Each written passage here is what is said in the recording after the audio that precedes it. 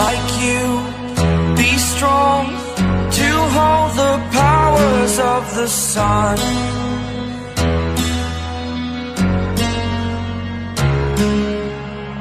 To dream, believe in strength. Now I'm the only one.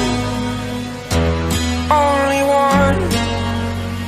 अभी तक हमने देखा जैक हार्ट जो कि एलियन है वो अवेंजर्स मेंशन में आके एक बड़ा सा ब्लास्ट कर देता है जिस वजह से एंटमैन की मौत हो जाती है। दूसरी तरफ़ टोनी स्टार्क यूएन असेंबली में एवेंजर्स को रिप्रेजेंट कर रहा होता है कि तभी उसका अचानक से खुद पर से कंट्रोल चला जाता है और वो लटवेरिया के रिप्रेजेंटेटिव को बुला बुला कहने लगता है। तो जैसे तैसे स्कारलेट विच और येलो जैकेट सिचुएशन को संभालते हैं और टोनी को असेंबली से बाहर ले जाते हैं। अवेंजर्स मेंशन में जहाँ ब्लास्ट हुआ था, वहाँ बचे हुए एवेंजर्स सिचुएशन का जायजा ले रहे होते हैं कि तभी विजन क्वीन जेट से क्रैश करके एक बड़ा सा ब्लास्ट कर देता है। जिस वजह से शीहल्क अपना आपा खो बैठती है और विजन को दो टुकड़ों में फाड़ देती है। उसके बाद कैप्टन अमेरिका की तरफ़ एक ट्रक लेके वो उसे मारने के लिए दौड़ती है। अब आगे।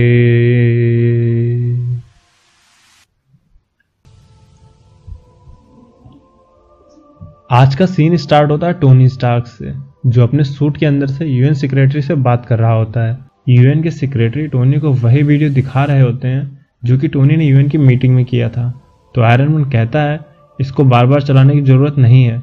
तो सेक्रेटरी कहता है, मिस्टर स्टार्क, ये तो बहुत बुरा है। क्योंकि इसे सिर्फ़ मैं ही नहीं, बल्कि इसे पूरी दुनिया के लोग बार बार चलाकर देखेंगे कि ये जो भी तुमने किया है। तो टोनी स्टार्क कहता है, ये ऐसा बिल्कुल भी नहीं है, जैसा दिख रहा है। तो सेक्रेटरी जवाब देता है, मुझे तो ऐसा बिल्कुल भी नहीं लगता। है तो टोनी बोलता है, क्या मैं प्रेसिडेंट से बात कर सकता हूँ? तो सेक्रेटरी जवाब देते हैं, नहीं, तुम प्रेसिडेंट से बात नहीं कर सकते हो। फिर वो सेक्रेटरी पूछता है, क्या टोनी स्टार्क मुझे तुम्हारी रेजिग्नेशन मांगनी होगी या तुम खुद ही दोगे? तो टोनी प्लीट करते हुए बोलता है प्लीज़ मुझे एक बार प्रेसिडेंट से बात तो करने दो, मुझे उनसे बात करनी है। फिर टोनी कहता है, चलिए ठीक है, मुझे जाना होगा, क्योंकि अवेंजर्स मैंशन में कोई इमरजेंसी हो गई है। उसके बाद टोनी वहाँ से उड़ते हुए अवेंजर मैंशन की तरफ़ चल देता है। फिर सीन शिफ्ट होता है उसी जगह जहाँ शीहल ट्रक लेके कैप्टन पे अटैक कर रही होती है। लेकिन तभी कैप्टन ब्रिटेन बीच में आके शीहल को अपनी शॉर्ट से अटैक करती हैं। तो शीहल कैप्टन ब्रिटेन को भी दूर फेंक देती है। अब शीहल्क अपने भाई ब्रूस बैनर की तरह एकदम पागल हल्क बन चुकी होती है और वो कारों को इधर उधर फेंकते हुए हॉकाई की तरफ़ बढ़ने लगती है। लेकिन तभी वहाँ पे आयरन मैन भी पहुँच गया होता है और शीहल की तबाही देख के शौक हो जाता है। इधर शीहल्क दूसरा टक उठाने जा ही रही होती है कि आयरन मैन उसे जोरदार पंच मारता है, जिसकी वजह से शीहल्क दूर जाके गिरती है। फिर आयरन मैन हॉकाई से पूछता है, आखिर यहाँ पे ये सब हो क्या रहा है? और ये एवेंजर्स मैंशन इसको किसने तोड़ फोड़ डाला है? तो हॉकाई कहता है, ये सब छोड़ो पहले और इस ट्रक को हटाओ, इसके नीचे कैप्टन दबे पड़े हैं। और जब वो ट्रक उठाता है तो देखता है कि कैप्टन की हालत काफ़ी बुरी हो चुकी होती है। फिर आयरन मैन कैप्टन को उठा के अपने शोल्डर पर रखता है और उससे उसका हाल पूछता है। तो कैप्टन बोलते हैं, क्या शीहल्क शांत हुई? तो आयरन मैन कहता है कि कुछ देर के लिए तो उसे ठंडा कर दिया है। लेकिन मुझे ये बताओ कि क्या ये सब शीहल्क ने किया है? तो कैप्टन कहते हैं, नहीं, ये उसने नहीं किया है। तभी उधर फैलकन आ जाता है और वो बताता है कि वास्प की हालत बहुत ख़राब हो रही है। तो टोनी कहता है, उसे फ़ौरन हॉस्पिटल लेके जाओ। तभी वहाँ पे जॉइंट मैन यानी हैंक पे आ जाता है और उसकी नज़र पहले पड़ती है अवेंजर्स मैंशन पे, फिर अल्ट्रॉन पे, फिर विजन की बॉडी पे और फिर फैल्कन के हाथ में बेहोश पड़ी वॉस्प पे, जिसे देख के वो काफ़ी शौक हो जाता है। फिर हैंक पिंग फैल्कन से वास्प को लेता है और कहता है, मैं तुमसे जल्दी हॉस्पिटल पहुँच जाऊँगा। और वास्प को लेके हॉस्पिटल की तरफ़ चल पड़ता है। इधर हॉस्पिटल में कैप्टन अमेरिका का इलाज चल रहा होता है।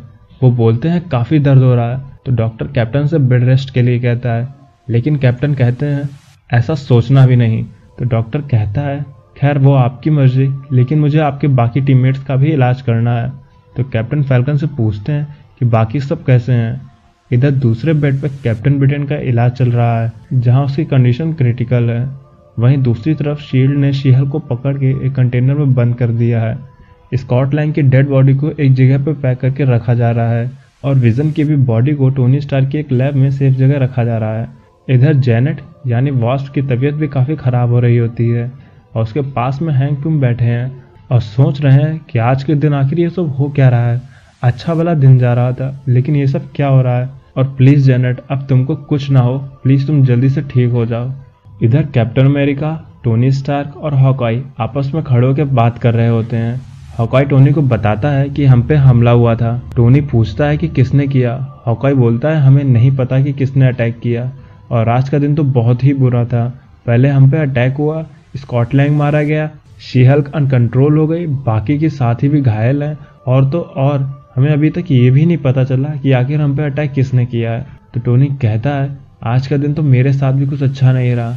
मैं जब यूएन असेंबली में अवेंजर्स को रिप्रेजेंट कर रहा था, तभी वहाँ पे तो पीछे से हैंग पिम आता है और कहता है, बताओ टोनी, बताओ, आज जो भी तुमने असेंबली में किया। तो टोनी कहता है, मैं बता रहा हूँ ना।